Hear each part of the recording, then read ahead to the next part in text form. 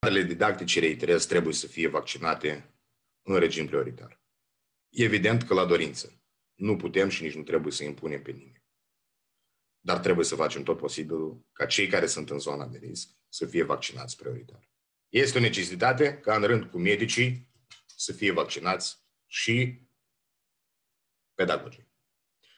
Nu trebuie să pierdem timpul și această perioadă când sunt copii acasă, când uh, sunt online, să schimbăm situația.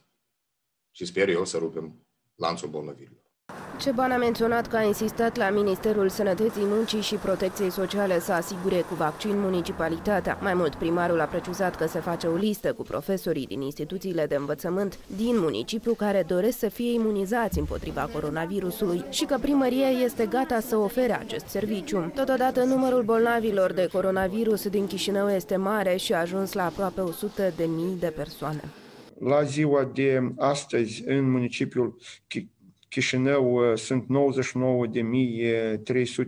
de cazuri confirmate. Cred că astăzi trecem acel, acea barieră psihologică de peste 100.000 de pacienți infectați cu COVID din municipiul Chișinău.